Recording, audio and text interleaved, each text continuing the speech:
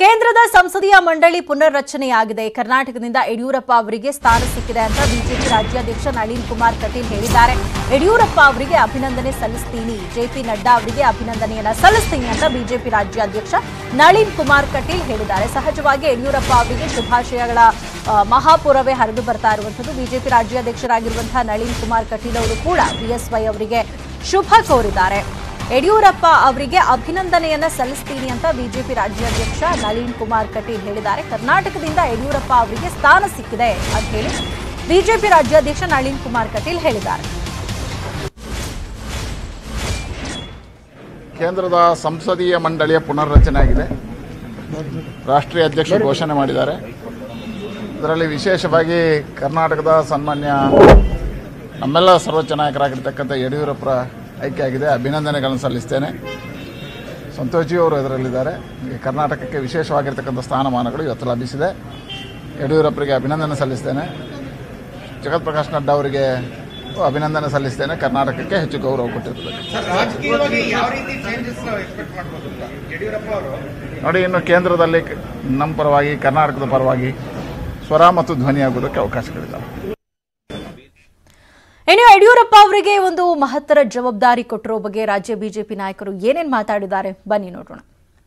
ಭಾರತೀಯ ಜನತಾ ಪಾರ್ಟಿಯ ರಾಷ್ಟ್ರೀಯ ಅಧ್ಯಕ್ಷರಾಗಿರ್ತಕ್ಕಂಥ ಸನ್ಮಾನ್ಯ ಜಗತ್ ಪ್ರಕಾಶ್ ನಡ್ಡಾರವರು ಇವತ್ತು ಈ ರಾಜ್ಯದ ಮಾಜಿ ಮುಖ್ಯಮಂತ್ರಿಗಳು ಮತ್ತು ಹಿರಿಯ ನೇತಾರರಾಗಿರ್ತಕ್ಕಂಥ ಸನ್ಮಾನ್ಯ ಯಡಿಯೂರಪ್ಪನವರನ್ನ ಕೇಂದ್ರ ಸಂಸದೀಯ ಮಂಡಳಿಯ ಸದಸ್ಯರನ್ನಾಗಿ ಮತ್ತು ಕೇಂದ್ರ ಚುನಾವಣಾ ಸಮಿತಿಯ ಸದಸ್ಯರನ್ನಾಗಿ ನೇಮಕ ಮಾಡಿದ್ದಾರೆ.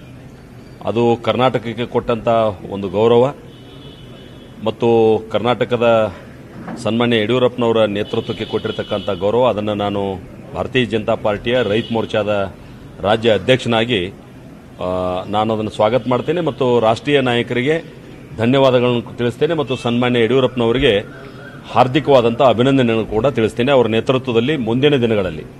ಎರಡು ಸಾವಿರದ ಇಪ್ಪತ್ತ್ಮೂರರ ವಿಧಾನಸಭೆ ಇರ್ಬೋದು, ಎರಡು ಸಾವಿರದ ಇಪ್ಪತ್ನಾಲ್ಕರ ಲೋಕಸಭಾ ಚುನಾವಣೆಯಲ್ಲಿ ಭಾರತೀಯ ಜನತಾ ಪಾರ್ಟಿ ಅಭೂತಪೂರ್ವವಾದಂಥ ಗೆಲುವಿನ ಕಡೆಗೆ ನಾವು ಹೋಗ್ತಾ ಇದ್ದೀವಿ. ಇಡೀ ಕರ್ನಾಟಕಕ್ಕೆ ಮುಂದಿನ ಚುನಾವಣೆ ದೃಷ್ಟಿಯಿಂದನೂ ಕೂಡ ಒಂದು ಆನೆಯ ಬಲ ಬಂದಂತಾಗಿದೆ ಅಂತ ಹೇಳಿ ನನ್ನ ಅಭಿಪ್ರಾಯ ಆಗಿದೆ. ಈ ಹಿನ್ನೆಲೆಯಲ್ಲಿ ಮುಂದಿನ ದಿನಗಳಲ್ಲಿ ಕರ್ನಾಟಕ ರಾಜ್ಯದಾದ್ಯಂತ ಪ್ರವಾಸವನ್ನು ಮಾಡ್ತಾ ಇರತಕ್ಕಂಥ ಸಂದರ್ಭದಲ್ಲಿ ಮತ್ತು ಅವರ ಅನುಭವ, ಅವರ ಆಡಳಿತ ಸಾಮರ್ಥ್ಯ ಮತ್ತು ಇಡೀ ರಾಜ್ಯವನ್ನು ಪರ್ಯಟನ ಮಾಡಿ ಬಿ ಜೆ ಪಿಯನ್ನು ಕಟ್ಟಿರ್ತಕ್ಕಂಥದ್ದು ಇವೆಲ್ಲವನ್ನು ಕೂಡ ಗುರುತಿಸಿ. ಎರಡು ಸೀಟ್ ಇದ್ದಾಗಿನಿಂದ ನಾವು ಅವ್ರನ್ನ ನೋಡ್ತಾ ಇದ್ದೀವಿ. ಎರಡು ಸೀಟ್ನಿಂದ ನೂರ ಇಪ್ಪತ್ತೆರಡು ಸೀಟಿನವರೆಗೆ ಅವರು ಭಾರತೀಯ ಜನತಾ ಪಾರ್ಟಿ ಕಟ್ಟೋದ್ರಲ್ಲಿ ಪ್ರತಿ ಇಂಚಿಂಚು ಅವರ ಪರಿಶ್ರಮವೂ ಕೂಡ ಕರ್ನಾಟಕ ರಾಜ್ಯದಲ್ಲಿ ಬಿ ಜೆ ಪಿ ವಿಕಾಸಗೊಳಿಸೋದ್ರಲ್ಲಿ ಒಂದು ಅಪಾರ ಪರಿಶ್ರಮ, ಅಪಾರ ಅನುಭವ ಇದೆ. ಅದಕ್ಕೆ ಸಿಕ್ಕಿರ್ತಕ್ಕಂಥ ಒಂದು ಪ್ರತಿಫಲ ಅಖಿಲ ಭಾರತೀಯ ಏನು ಪಾರ್ಲಿಮೆಂಟರಿ ಬೋರ್ಡ್ಗೆ ಸದಸ್ಯರನ್ನಾಗಿ ಏನು ಮಾಡಿದ್ದಾರೆ ಇದಕ್ಕೆ ನಾನು ಈ ಸಂದರ್ಭದಲ್ಲಿ ಅಭಿನಂದನೆಯನ್ನು ಸಲ್ಲಿಸ್ತೇನೆ. ಹೋರಾಟ ಮಾಡಬೇಕು. ವರಿಷ್ಠರು ಅಮಿತ್ ಶಾ ಅವರು ಮತ್ತು ನರೇಂದ್ರ ಮೋದಿ ಅವರು ಒಳ್ಳೆ ತೀರ್ಮಾನ ತೆಗೆದುಕೊಳ್ತಾರೆ. ಕರ್ನಾಟಕದ ಮುಂದಿನ ಚುನಾವಣೆಗೆ ಈಗಲಿಂದಲೇ ತಯಾರಿ ಮಾಡ್ತಾರೆ. ನಾವೆಲ್ಲ ಸಿದ್ಧರಾಗಬೇಕಂತ ಹೇಳಿದ್ರು. ಇವತ್ತು ಅಣ್ಣ, ಈಗ ಒಂದು ಮಾತು ಹೇಳ್ತೀನಿ. ಆಯ್ತು. ಮಾಧ್ಯಮ ಸ್ನೇಹಿತರ ಪ್ರೀತಿ ಜಾಸ್ತಿ ನಮ್ಮ ಮೇಲೆ ಲವ್ ಜಾಸ್ತಿ, ನಾನು, ನನಗೂ ನಿಮ್ಮ ಮೇಲೆ ಭಾಳ ಪ್ರೀತಿ ಇಲ್ಲ. ಒಂದು ಮಾತು ಹೇಳ್ತೀನಿ, ಕೇವಲ ರೇಣುಕಾಚಾರ್ಯರಿಗಷ್ಟೇ ಅಲ್ಲ, ಈ ನಾಡಿನ ಸಮಸ್ತ ಜನತೆ, ಕಾರ್ಯಕರ್ತರು, ಪ್ರತಿಯೊಬ್ಬರು ಯಡಿಯೂರಪ್ಪನವರು ಎರಡು ಸಾವಿರದ ಇಪ್ಪತ್ತ್ಮೂರರ ವಿಧಾನಸಭೆ ಚುನಾವಣೆಗೆ ಸ್ಪರ್ಧೆ ಮಾಡಲ್ಲ ಅಂದಾಗ, ಸಹಜವಾಗಿ ಅವರು ನಮ್ಮನ್ನು ಬೆಳೆಸಿದವರು ನಾಯಕರು. ಅವರು ಈ ಅವರಿಲ್ಲದೆ ಯಾವ ರೀತಿ ಅಧಿವೇಶನ ನೋಡಬೇಕಂತ ಹೇಳಿ ಕಣ್ಣೀರು ಹಾಕಿದ್ವಿ. ಕೇವಲ ನನ್ನ ಕಣ್ಣೀರಿಗಲ್ಲ ಪ್ರತಿಯೊಬ್ಬರು ಕಣ್ಣೀರು ಹಾಕಿದ್ವಿ. ಫಲ ಅಲ್ಲ, ಅವರ ಶ್ರಮಕ್ಕೆ ತಕ್ಕಂತೆ ಪ್ರತಿಫಲ. ಅವರ ವ್ಯಕ್ತಿತ್ವ, ಅವರ ವರ್ಚಸ್ಸು, ಅವರ ಮಾಸ್ ಲೀಡರ್ ಪ್ರಸ್ತಾವಿತ ನಾಯಕರು. ಹಾಗಾಗಿ ಕೇಂದ್ರ ವರಿಷ್ಠರು ಅವರ ವ್ಯಕ್ತಿತ್ವದ ಬಗ್ಗೆ ಗೌರವವನ್ನು ಕೊಡಿದರೆ ಧನ್ಯವಾದಗಳು. ಕಮಾಂಡ್ ನಿರ್ಣಯ ತೊಗೊಂಡೈತಂದ್ರೆ ಅದಕ್ಕೆಲ್ಲರೂ ನಾವು ತಲೆಬಾಗ್ತೀವಿ ಪಕ್ಷದ ಹೈಕಮಾಂಡ್ ಯಾವುದೋ ಭಾಳ ಮುಂದಾಲೋಚನೆ ಮಾಡಿ. ಭವಿಷ್ಯದಲ್ಲಿ ಏನೇನು ಮೊನ್ನೆ ಪ್ರಧಾನಮಂತ್ರಿಗಳು ಎಪ್ಪತ್ತೈದನೇ ವರ್ಷದ ಸ್ವಾತಂತ್ರ್ಯೋತ್ಸವದಲ್ಲಿ ಭಾಳ ಸ್ಪಷ್ಟವಾಗಿ ಹೇಳಿದ್ದಾರೆ. ಕುಟುಂಬ ರಾಜಕಾರಣಕ್ಕೆ ನಾನು ಅಂತ್ಯ ಮಾಡ್ತೀನಿ ಅಂದರೆ, ಅದು ಅಂತ್ಯದ ಕಾಲ ಅಮೃತ ಮಹೋತ್ಸವದಿಂದ ಪ್ರಾರಂಭ ಆಗ್ತದೆ ಅನ್ನೋಂಥ ಸಂದೇಶ ನಾನು ಹೇಳಕ್ಕೆ ಬಯಸ್ತೇನೆ.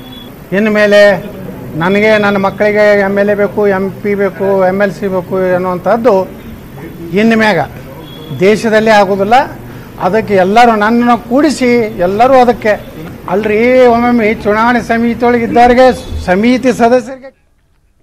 ಇನ್ನು ಪ್ರಧಾನಿ ಮೋದಿ ಜೆಪಿ ನಡ್ಡಾ, ಅಮಿತ್ ಶಾಗೆ ಬಿಎಸ್ವೈ ಧನ್ಯವಾದ ಹೇಳಿದ್ದಾರೆ. ಸಂಸದೀಯ ಸಮಿತಿ, ಚುನಾವಣಾ ಸಮಿತಿಗೆ ಆಯ್ಕೆ ಮಾಡಿದ್ದಕ್ಕೆ ಧನ್ಯವಾದ ತಿಳಿಸಿದ್ದಾರೆ ಯಡಿಯೂರಪ್ಪ ಅವರು. ಪಕ್ಷದಲ್ಲಿ ಉನ್ನತ ಸ್ಥಾನ ಸಿಕ್ಕಿದ್ದಕ್ಕೆ ಧನ್ಯವಾದ ತಿಳಿಸಿ ಬಿಎಸ್ವೈ ಟ್ವೀಟ್ ಮಾಡಿದ್ದಾರೆ. ಟ್ವೀಟ್ ಮುಖಾಂತರ ಯಡಿಯೂರಪ್ಪ ಅವರು ಕೇಂದ್ರದ ನಾಯಕರಿಗೆ ಧನ್ಯವಾದ ಹೇಳಿದ್ದಾರೆ. ಸಂಸದೀಯ ಸಮಿತಿ ಹಾಗೂ ಚುನಾವಣೆ ಸಮಿತಿಗೆ ಆಯ್ಕೆ ಮಾಡಿದ್ದಕ್ಕೆ ಧನ್ಯವಾದ. ಪಕ್ಷದಲ್ಲಿ ಉನ್ನತ ಸ್ಥಾನ ಸಿಕ್ಕಿದ್ದಕ್ಕೆ ಧನ್ಯವಾದ ಅಂತ ಬಿಎಸ್ ಯಡಿಯೂರಪ್ಪ ಅವರು ಟ್ವೀಟ್ ಮುಖಾಂತರ ಕೇಂದ್ರದ ನಾಯಕರಿಗೆ ಧನ್ಯವಾದ ಹೇಳಿದ್ದಾರೆ.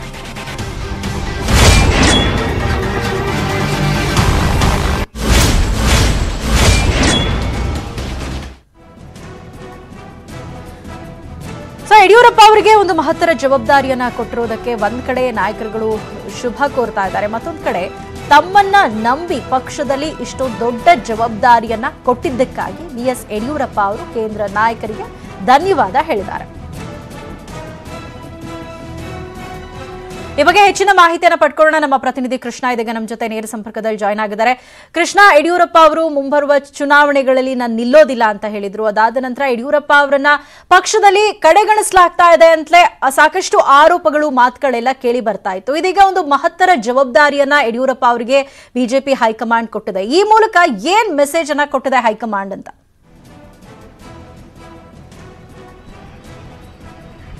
ಖಂಡಿತವಾಗ್ಲೂ ಸೌಮ್ಯ, ಈ ಮಾಜಿ ಮುಖ್ಯಮಂತ್ರಿ ಬಿ ಎಸ್ ಯಡಿಯೂರಪ್ಪನವ್ರನ್ನ ಎಲ್ಲೋ ಒಂದ್ ಕಡೆ ಕಡೆಗಣಿಸ್ತಾ ಇದೆ, ಮತ್ತೆ ನಿರ್ಲಕ್ಷ್ಯವನ್ನ ಮಾಡಲಾಗ್ತಾ ಇದೆ ಅನ್ನೋದು ಕೂಡ ಸಾಕಷ್ಟು ಚರ್ಚೆ ಆಗ್ತಾ ಇತ್ತು. ಮತ್ತೆ ಇದೇ ಒಂದು ವಿಚಾರ, ರಾಜ್ಯದ ಕಾಂಗ್ರೆಸ್ ಆಗಿರ್ಬೋದು ಜೆಡಿಎಸ್ಗೂ ಕೂಡ ಒಂದು ರೀತಿ ಆಹಾರವಾಗಿ ಪರಿಣಮಿಸಿತು ಇದಕ್ಕೆ ಇದೆಲ್ಲದಕ್ಕೂ ಕೂಡ ಒಂದು ರೀತಿ ತಕ್ಕವಾದಂತ ತಿರುಗೇಟು ಕೊಡುವಂತ ನಿಟ್ಟಿನಲ್ಲಿ ಹೈಕಮಾಂಡ್ ಮಾಡಿದೆ ಅನ್ನುವಂಥದ್ದು. ಯಾವಾಗ ಯಡಿಯೂರಪ್ಪನವರು ಮುಖ್ಯಮಂತ್ರಿ ಸ್ಥಾನದಿಂದ ಕೆಳಗಡೆ ಇಳಿದ್ರು ಅದಾದ ನಂತರವಾಗಿ ಅವರು ಸೈಡ್ ಲೈನ್ ಆದ್ರು ಅನ್ನೋದು ಕೂಡ ಸಾಕಷ್ಟು ಕೇಳಿ ಬರ್ತಾ ಇತ್ತು. ಈ ಮುಖಾಂತರವಾಗಿ ಅವರಿಗೆ ಒಂದು ರೀತಿ ತಿರುಗೇಟುಗಳನ್ನು ಕೊಡೋದ್ರ ಮೂಲಕವಾಗಿ ರಾಜ್ಯದಲ್ಲಿ ಯಡಿಯೂರಪ್ಪನವರ ಬಿಟ್ಟರೆ ಬೇರೆ ಯಾರು ಇಲ್ಲ ಅನ್ನೋ ಒಂದು ಸ್ಪಷ್ಟವಾದಂತಹ ಸಂದೇಶವನ್ನ ರಾಜ್ಯದ ಅಂದ್ರೆ ಬಿಜೆಪಿ ಹೈಕಮಾಂಡ್ ಮಾಡಿರುವಂತದ್ದು.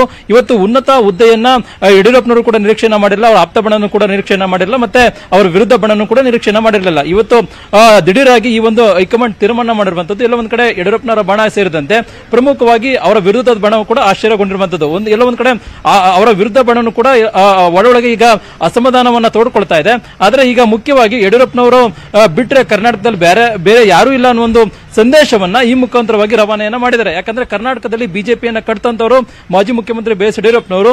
ಹಿಂದೆ ಆ, ಮುಂಬರ್ತಕ್ಕಂಥ ದಿನಗಳಲ್ಲಿ ಬಿಜೆಪಿಯಲ್ಲಿ ಯಾರ ನಾಯಕತ್ವ ಅನ್ನೋದು ಕೂಡ ಸಾಕಷ್ಟು ಚರ್ಚೆ ಆಗ್ತು ಚರ್ಚೆ ಆಗ್ತಾ ಇತ್ತು. ಒಂದ್ ವೇಳೆ ಯಡಿಯೂರಪ್ಪನವರಿಗೆ ನಾಯಕತ್ವವನ್ನ ಕೊಟ್ಟದೇ ಯಾವ ಯಾವುದೇ ಯಾವ ಸ್ಥಾನವನ್ನ ನೀಡ್ತಾರೆ ಅನ್ನೋದು ಕೂಡ ಕೂಡ ಸಾಕಷ್ಟು ಚರ್ಚೆ ಆಗ್ತಾ ಇತ್ತು. ಇಂತಹ ಸಂದರ್ಭದಲ್ಲಿ ಎಲ್ಲಾ ಚರ್ಚೆಗಳು ಕೂಡ ತೆರೆ ಎಳುವಂತ ನಿಟ್ಟಿನಲ್ಲಿ ಹೈಕಮಾಂಡ್ ತೀರ್ಮಾನ ಮಾಡಿರುವಂತದ್ದು ಅಂದ್ರೆ ಕೇಂದ್ರ ಚುನಾವಣಾ ಸಮಿತಿ ಆಗಿರ್ಬೋದು ಸಂಸದೀಯ ಮಂಡಳಿಗೆ ಅವರನ್ನ ಆಯ್ಕೆಯನ್ನ ಮಾಡೋದ್ರ ಮೂಲಕವಾಗಿ ಒಂದು ರೀತಿ ಪ್ರಧಾನವಾದಂತಹ ಹುದ್ದೆಯನ್ನ ಕೊಡೋದ್ರ ಮೂಲಕವಾಗಿ ಅವರ ನಾಯಕತ್ವದಲ್ಲೇ ಚುನಾವಣೆಗೆ ಹೋಗ್ಬೇಕು ಅನ್ನೋ ಸಂದೇಶವನ್ನ ಹೈಕಮಾಂಡ್ ನೀಡಿದೆ. ಅಂದ್ರೆ ಈಗ ಕರ್ನಾಟಕದಲ್ಲಿ ಯಡಿಯೂರಪ್ಪನವ್ರನ್ನ ಬಿಟ್ರೆ ಆ, ಯಡಿಯೂರಪ್ಪ ಯಡಿಯೂರಪ್ಪನವ್ರು ಬಿಟ್ಟು ಕೂಡ ಚುನಾವಣೆಗೆ ಹೋದ್ರು ಅಧಿಕಾರಕ್ಕೆ ಬರೋದಿಲ್ಲ ಅನ್ನೋದು ಕೂಡ ಹೈಕಮಾಂಡ್ಗೆ ಗೊತ್ತಾಗಿದೆ. ಅದೇ ಒಂದು ಕಾರಣಕ್ಕೋಸ್ಕರವಾಗಿ ಇದೀಗ ಯಡಿಯೂರಪ್ಪನವರಿಗೆ ಒಂದು ಉನ್ನತ ಹುದ್ದೆಯನ್ನ ಕೊಡೋದ್ರ ಮೂಲಕವಾಗಿ ಒಂದು ರೀತಿ ಚುನಾವಣಾ ಜವಾಬ್ದಾರಿಯನ್ನ ಕೊಟ್ಟಿರುವಂತದ್ದು. ಯಾಕಂದ್ರೆ ಎರಡ್ ಸಾವಿರದ ಇಪ್ಪತ್ತ್ ಮೂರರ ವಿಧಾನಸಭಾ ಚುನಾವಣೆಯನ್ನ ಬಿಜೆಪಿ ಒಂದು ರೀತಿ ಸವಾಲಾಗಿ ಪರಿಣಮಿಸ, ತೆಗೆದುಕೊಂಡಿದೆ. ಒಂದ್ ಕಡೆ ಕೇಂದ್ರ ಗೃಹ ಸಚಿವ ಅಮಿತ್ ಶಾ ಅವರು ರಾಜ್ಯಕ್ಕೆ ಬಂದು ರಾಜ್ಯದ ನಾಯಕರಿಗೆ ಗುರಿಯನ್ನ ಕೊಟ್ಟೋಗಿದ್ದಾರೆ. ಈಗ ಗುರಿಯನ್ನ ರೀಚ್ ಮಾಡುವಂತ ನಿಟ್ಟಿನಲ್ಲಿ ರಾಜ್ಯದ ರಾಜ್ಯದ ನಾಯಕರು ಅಂದ್ರೆ ಮುಖ್ಯಮಂತ್ರಿ ಬಸವರಾಜ ಬೊಮ್ಮಾಯಿ ಆಗಿರಬಹುದು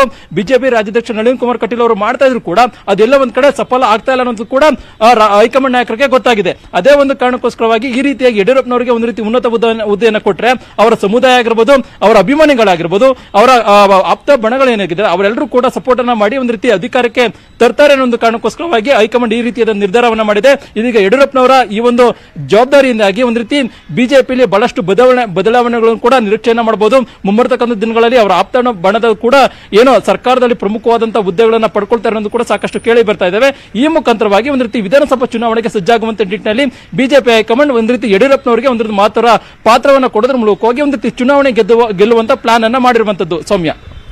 ಕೃಷ್ಣ ಕಳೆದ ವರ್ಷ ಯಡಿಯೂರಪ್ಪ ಅವರನ್ನ ಸಿಎಂ ಸ್ಥಾನದಿಂದ ಕೆಳಗಿಳಿಸಿ ಬೊಮ್ಮಾಯಿ ಅವರಿಗೆ ಅವಕಾಶವನ್ನ ಮಾಡಿಕೊಡ್ಲಾಗಿತ್ತು. ಯಡಿಯೂರಪ್ಪ ಅವರು ಕೆಳಗಿಳಿದ ಸಂದರ್ಭದಲ್ಲೇ ಲಿಂಗಾಯತರು ಮುನಿಸ್ಕೊಂಡಿದ್ದಾರೆ ಅನ್ನುವಂತಹ ಮಾತುಗಳು ಕೂಡ ಕೇಳಿ ಬರ್ತಾ ಇತ್ತು. ಅದ್ರ ಜೊತೆಗೆ ಎಂ ಬಿ ಪಾಟೀಲ್ ಅವರು ಫಿಫ್ಟಿ ಪರ್ಸೆಂಟ್ ಲಿಂಗಾಯತರು ನಮಗೆ ಓಟ್ ಹಾಕ್ತಾರೆ ಅನ್ನುವಂತಹ ಮಾತನ್ನ ಕೂಡ ಹೇಳಿದ್ರು.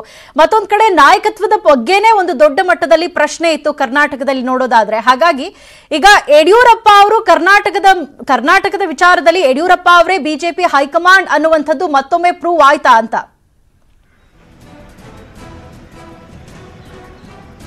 ಖಂಡಿತವಾಗ್ಲೂ ಸೌಮ್ಯ. ಕರ್ನಾಟಕದ ವಿಚಾರದಲ್ಲಿ ಯಡಿಯೂರಪ್ಪನವರೇ ಫೈನಲ್ ಹೈಕಮಾಂಡ್ ಅನ್ನುವಂಥದ್ದು ಈ ಮುಖಾಂತರವಾಗಿ ಪ್ರೂವ್ ಆಗಿದೆ. ಯಾಕಂದ್ರೆ ನೀವು ನೋಡಬಹುದು ಹಿಂದೆ ಯಡಿಯೂರಪ್ಪನವ್ರನ್ನ ಮುಖ್ಯಮಂತ್ರಿ ಸ್ಥಾನದಿಂದ ಕೆಳಗಡೆ ಇಳಿದಂತ ಸಂದರ್ಭದಲ್ಲಿ ಅವರ ಸಮುದಾಯದ ಸಾಕಷ್ಟು ಸ್ವಾಮೀಜಿಗಳಾಗಿರ್ಬೋದು ನಾಯಕರು ಎಲ್ಲರೂ ಕೂಡ ರೆಬಲ್ ಆಗಿದ್ರು. ಇದು ಎಲ್ಲ ಒಂದ್ ಕಡೆ ಪಕ್ಷಕ್ಕೆ ಇರುಸು ಮುರುಸಾಗಿತ್ತು. ಮತ್ತೆ ಮುಂಬರ್ತಕ್ಕಂಥ ದಿನಗಳಲ್ಲಿ ವಿಧಾನಸಭಾ ಚುನಾವಣೆ ಮೇಲೆ ಕೂಡ ದೃಶ್ಯ ಅಂದ್ರೆ ಪರಿಣಾಮ ಬೀಳುತ್ತೆ ಅನ್ನೋದು ಕೂಡ ಸಾಕಷ್ಟು ಚರ್ಚೆ ಆಗ್ತಾ ಇತ್ತು. ಇದೇ ಒಂದು ಕಾರಣವನ್ನ ಇಟ್ಕೊಂಡು ಇದೀಗ ಬಿಜೆಪಿ ಹೈಕಮಾಂಡ್ ತೀರ್ಮಾನವನ್ನ ಮಾಡಿರುವಂತದ್ದು ಎಲ್ಲ ಒಂದ್ ಕಡೆ ಹಿಂದೆ ಮುಖ್ಯಮಂತ್ರಿ ಸ್ಥಾನದಿಂದ ಕೆಳಗಡೆ ಇಳಿಸಿದ ನಂತರವಾಗಿ ಯಡಿಯೂರಪ್ಪನವರು ಇಷ್ಟೇನೆ, ಹೈಕಮಾಂಡ್ ಇಷ್ಟೇ ನಡೆಸಿಕೊಳ್ಳುವಂತದ್ದು ಕೂಡ ಸಾಕಷ್ಟು ಕೇಳಿ ಬರ್ತಾ ಇತ್ತು. ಈಗ ಚುನಾವಣೆ ಬರ್ತ- ಬರ್ತಕ್ಕಂಥ ದಿನಗಳಲ್ಲಿ ಯಡಿಯೂರಪ್ಪನವರ ಬಿಟ್ಟರೆ ಬೇರೆ ಯಾರಿಂದನೂ ಕೂಡ ಚುನಾವಣೆಯಲ್ಲಿ ಗೆಲ್ಲೋದಕ್ಕೆ ಸಾಧ್ಯವಿಲ್ಲ ಅನ್ನೋ ಒಂದು ಲೆಕ್ಕಾಚಾರದಲ್ಲಿ ಬಿಜೆಪಿ ಹೈಕಮಾಂಡ್ ಈ ರೀತಿಯಾದ ತೀರ್ಮಾನವನ್ನು ಮಾಡ- ಮಾಡಿರುವಂತದ್ದು ಈಗಾಗಲೇ ಮುಖ್ಯಮಂತ್ರಿ ಯಡಿಯೂರಪ್ಪನವರು ಮುಖ್ಯಮಂತ್ರಿ ಸ್ಥಾನದಿಂದ ಕೆಳಗಡೆ ಇಳಿದ ನಂತರವಾಗಿ ಇಲ್ಲ ಒಂದು ಕಡೆ ಆಂತರಿಕವಾದ, ಅಂದ್ರೆ ಬಿಜೆಪಿ ವಿರುದ್ಧವಾದಂತ ಅಲೆ ಕೂಡ ಎದುರಾಗ್ತಾ ಇದೆ ಅನ್ನುವಂಥದ್ದು. ಇದೀಗ ಈ ಒಂದು ಅಲೆಯನ್ನ ಎದುರಿಸುವಂತ ನಿಟ್ಟಿನಲ್ಲಿ ಒಂದು ರೀತಿ ಮಹತ್ವದ ಪಾತ್ರವನ್ನ ವಹಿಸಬೇಕಾದಂತವರು ರಾಜ್ಯದ ನಾಯಕರುಗಳು. ಈ ನಾಯಕರುಗಳು ಪಾತ್ರವನ್ನ ವಹಿಸ್ತಾ ಇದ್ರು ಕೂಡ ಎಲ್ಲೋ ಒಂದ್ ಕಡೆ ಗುರಿ ಮುಟ್ಟುವಂತ ಕೆಲಸವನ್ನ ಆಗ್ತಾ ಇಲ್ಲ ಅನ್ನೋದು ಅಂದ್ರೆ ಮುಖ್ಯಮಂತ್ರಿ ಬಸವರಾಜ ಬೊಮ್ಮಾಯಿ ಅವರು ತಮ್ಮ ಕೆಲಸದ ಕಾರ್ಯಗಳ ಮುಖಾಂತರವಾಗಿ ಜನರನ್ನ ಸೆಳೆಯುವಂತ ಒಂದು ಪ್ರಯತ್ನವನ್ನ ಮಾಡ್ತಾ ಇದ್ದಾರೆ. ಮತ್ತೊಂದ್ ಕಡೆ ಬಿಜೆಪಿ ರಾಜ್ಯಾಧ್ಯಕ್ಷ ನಳಿನ್ ಕುಮಾರ್ ಕಟೀಲ್ ಅವರು ಕೂಡ ಪಕ್ಷ ಸಂಘಟನೆ ಮುಖಾಂತರವಾಗಿ ಒಂದು ರೀತಿ ಪಕ್ಷವನ್ನ ಬಲವರ್ಧನೆ ಮಾಡುವಂತ ನಿಟ್ಟಿನಲ್ಲಿ ಕೆಲಸವನ್ನ ಮಾಡ್ತಾ ಇದ್ದಾರೆ. ಇಷ್ಟಾದ್ರೂ ಕೂಡ ಇಲ್ಲ ಒಂದ್ ಕಡೆ ಆಂತರಿಕ ಸಮೀಕ್ಷೆಯಲ್ಲಿ ಬಿಜೆಪಿ ಪರವಾದಂತ ಅಲೆ ರಾಜ್ಯದಲ್ಲಿ ಕಾಣ್ತಾ ಇಲ್ಲ ಅನ್ನೋದು ಕೂಡ ಸ್ಪಷ್ಟವಾಗಿ ಗೊತ್ತಾಗ್ತಾ ಇದೆ. ಅದೇ ಒಂದು ಕಾರಣಕ್ಕೋಸ್ಕರವಾಗಿ ಯಡಿಯೂರಪ್ಪನವ್ರನ್ನ ಮುಂಬರ್ತಕ್ಕಂಥ ದಿನಗಳಲ್ಲಿ ಅಂದ್ರೆ ಅವ್ರನ್ನ ಮುಂದಕ್ಕೆ ಬಿಟ್ರೆ ನಾವು ಗೆಲ್ಬಹುದು ಅನ್ನೋ ಒಂದು ಕಾರಣಕ್ಕೋಸ್ಕರವಾಗಿ ಇದೀಗ ಹೈಕಮಾಂಡ್ ಈ ರೀತಿಯಾದಂತಹ ನಿರ್ಧಾರವನ್ನ ಮಾಡಿರುವಂತದ್ದು. ಇದು ಒಂದು ರೀತಿ ಚುನಾವಣೆ ಗಿಮಿಕ್ ಅಂತಾನೆ ಹೇಳ್ಬೋದು. ಯಾಕಂದ್ರೆ ಯಡಿಯೂರಪ್ಪನವರು ಬಿಟ್ರೆ ಬೇರೆ ಯಾರಿಂದನೂ ಕೂಡ ಗೆಲ್ಲೋದಕ್ಕೆ ಆಗಲ್ಲ. ಹೀಗಾಗಿ ಚುನಾವಣೆಯನ್ನು ಗೆಲ್ಲಬೇಕು ಅನ್ನೋ ಒಂದು ಕಾರಣಕ್ಕೋಸ್ಕರವಾಗಿ ಹೈಕಮಾಂಡ್ ಯಡಿಯೂರಪ್ಪನವರಿಗೆ ಈ ರೀತಿಯಾದಂತಹ ಉನ್ನತ ಹುದ್ದೆಯನ್ನ ಕೊಟ್ಟಿರುವಂತದ್ದು ಅನ್ನೋದು ಕೂಡ ಬಿಜೆಪಿ ವಲಯದಲ್ಲಿ ಸಾಕಷ್ಟು ಚರ್ಚೆ ಆಗ್ತಾ ಇದೆ. ಸೌಮ್ಯ. Thank you Krishna. ತಮ್ಮೆಲ್ಲ ಇನ್ಫಾರ್ಮೇಶನ್ಗೆ